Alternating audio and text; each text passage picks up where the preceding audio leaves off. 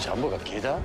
すぐそばで世界最大の航空機事故が起きてるんですよ。状況が分かるまで待て。自衛隊のヘリコプターが。ただいま先ほどスケールが違いすぎる。いました。船内関係者一人いました。締め切りまで2時間切ったぞ。こんな話聞いてないよ。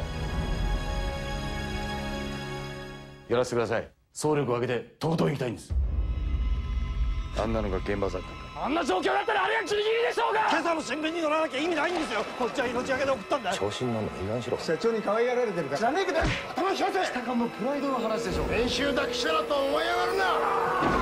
北が始まって以来の大スクープだろ。一面トップでやらせてください。520人群馬で死んだんです。クライマーズハイ。命を追ったあの夏